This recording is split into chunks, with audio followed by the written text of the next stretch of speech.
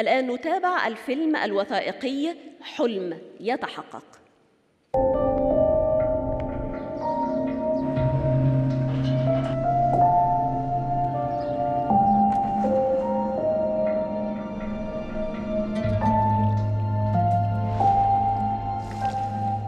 حلم كان طويل قوي لمصر ان يبقى ليها برنامج نووي سلمي لإنتاج الطاقة الكهربائية. حلم يتحقق. بخطوات ثابتة وجهود حثيثة نابعة من إرادة سياسية حقيقية نمضي لتحقيق حلم المصريين بإنجاز الحلم النووي المصري للاستخدام السلمي للطاقة النووية في توليد الطاقة الكهربائية. الحلم الذي ظل يراود المصريين لعقود عديدة. الآن أصبح حقيقة وواقعا نعيشه. بعون الله انطلقت هيئة المحطات النووية لتوليد الكهرباء لتحقيق الحلم على أرض الواقع. فكما كان في الماضي بناه الأهرام الآن بناه المشروع النووي. تعد مصر دولة ذات تاريخ في مجالات التكنولوجيا النووية حيث كانت مصر من أوائل الدول التي أدركت منذ بدايات الخمسينيات من القرن الماضي أهمية استخدام الطاقة النووية والإمكانات الهائلة الكامنة في الذرة التي يمكن الاستفادة منها من أجل توفير الطاقة والمياه اللازمتين لضمان التنمية المستدامة في مصر. وفي هذا الإطار أنشئت لجنة الطاقة الذرية عام 1955 ثم تطورت لتصبح مؤسسة الطاقة الذرية عام 1957 وكانت مصر من أوائل الدول المؤسسة للوكالة الدولية للطاقة الذرية عام 1957 وفي وضع الأساس الذي تقوم عليه صلاحياتها ودعم الاستخدامات السلمية للطاقة النووية.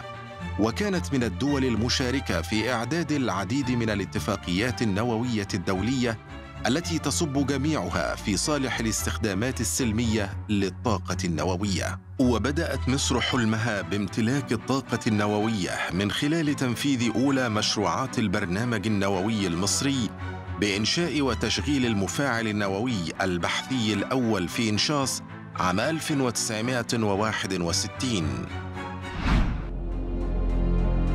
وقد شهد عام 1976 الانطلاقة الأولى نحو توليد الكهرباء من الطاقة النووية بإنشاء هيئة المحطات النووية لتوليد الكهرباء التي حملت على عاتقها تحقيق الحلم النووي من خلال مسؤوليتها عن تنفيذ مشروعات إنشاء محطات القوى النووية في مصر.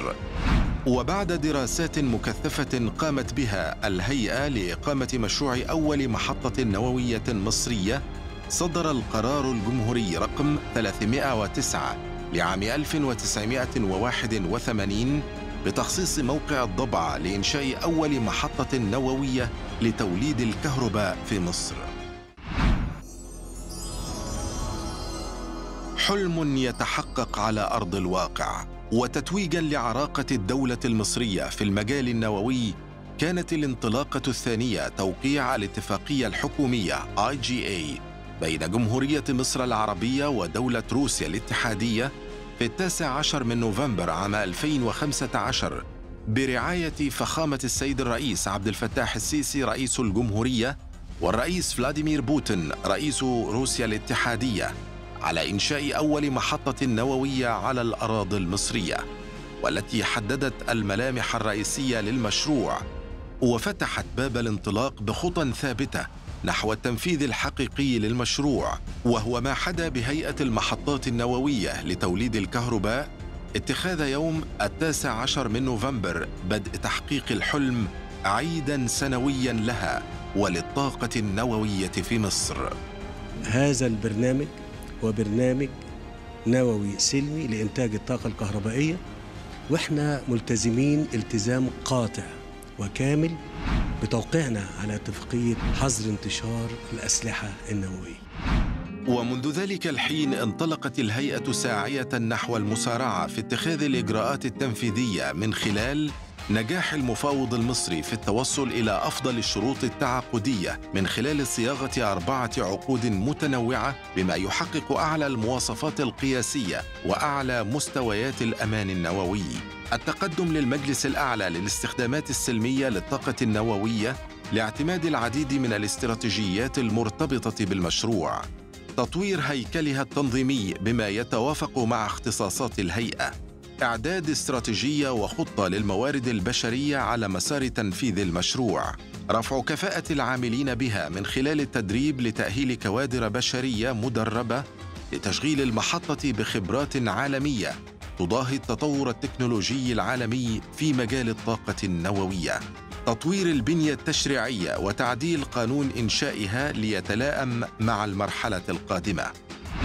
وتأتي تلك الخطوات لإتمام الجاهزية المطلوبة ورفع حالة الاستعداد الوطني من أجل المضي قدما لتحقيق الحلم حيث تم في الحادي عشر من ديسمبر من عام 2017 تفعيل عقود مشروع محطة الضبعة النووية لتشرق شمس المشروع من أرض الكنانة ولتعلن للعالم أجمع بدء تنفيذ مشروع محطة الضبعة النووية. مع الالتزام الكامل بسلمية البرنامج النووي المصري وشفافيته المطلقة لكي يكون نموذجا وطنيا براقا يضفي مزيدا من الأمل والنور على مسار التنمية والتقدم. ويزخر سجل هيئة المحطات النووية بالعديد من الإنجازات حيث تم اختيار مشروع الضبع النووي كثاني أفضل مشروع من حيث البدء والانطلاقة على مستوى العالم عام 2019 بمنتدى أرتوم إكسبو الدولي. كما نجحت نجاحا باهرا في استقبال وتنظيم بعثة الوكالة الدولية للطاقة الذرية لتقييم البنية التحتية النووية المصرية حيث قام خبراء الوكالة بمراجعة مدى تطور البنية التحتية النووية المصرية للوقوف على مدى جاهزية الدولة لبناء أول محطة نووية طبقا لمراحل برامج التنفيذ والإشادة بجاهزية المشروع النووي المصري. واستمرارا في النجاح والتألق على المستوى الوطني فقد حصلت هيئة المحطات النووية لتوليد الكهرباء في أكتوبر عام 2021 على جائزة مصر للتميز الحكومي على مستوى الجمهورية. فاز في المركز الأول فريق الإشراف على محطة الضبعة النووية من وزارة الكهرباء والطاقة المتجددة. فليتفضل السيد المهندس محمد رمضان محمد بدوي رئيس الفريق. محطة الضبعة النووية. تعد محطة الضبعة النووية من أعظم مشروعات إنتاج الطاقة الكهربائية وتشتمل على عدد أربع وحدات نووية بقدرة 4800 ميجاوات وتطبق أعلى المعايير العالمية للجودة والأمان وهي الأكثر أماناً على مستوى العالم من حيث الآتي. التكنولوجيا المستخدمة لمحطة الضبعة من الجيل الثالث المتطور VVER 1200 وهي التكنولوجيا الأعلى حالياً وتتميز بأعلى مستويات الأمان النووي. وجود نظم أمان تعمل تلقائياً تحمل مختلف الظروف الجوية والمناخية. عمر المفاعل التشغيلي يصل إلى 60 عاماً. يتميز المفاعل بوجود آلية احتواء لقلب المفاعل. التوافق التام مع متطلبات الأمان للوكالة الدولية للطاقة الذرية.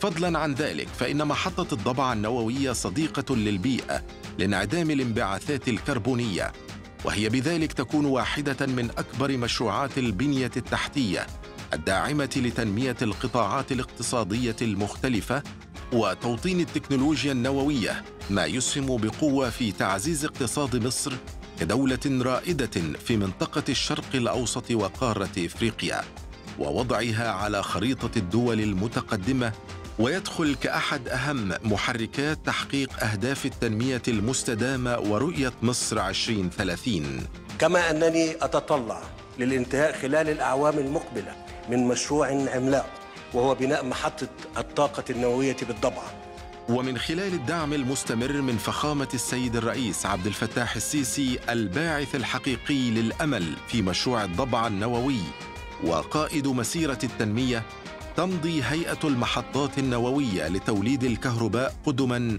في تحويل الحلم إلى حقيقة لتبدأ الخطوات الفعلية لاستكمال دراسات الموقع وتأهيله لإنشاء المحطة. وتستمر هيئة المحطات النووية لتوليد الكهرباء في تحقيق أهدافها لبناء المشروع النووي المصري هادفة للاستخدام السلمي للطاقة النووية مؤمنة بحق الأجيال القادمة في مستقبل زاهر مواكبة للتطور التكنولوجي ومحققة لآمال كل المصريين في ظل رؤية مصر 2030 تحت القيادة الحكيمة لفخامة السيد الرئيس عبد الفتاح السيسي رئيس الجمهورية. ويستمر الحلم وتتوالى الإنجازات. مصر أم الدنيا وحتبقى قد الدنيا. حفظ الله مصر. تحيا مصر تحيا مصر تحيا مصر. افتكروا في يوم من الأيام أنا قلت مصر أم الدنيا وهتبقى قد الدنيا. حلم يتحقق.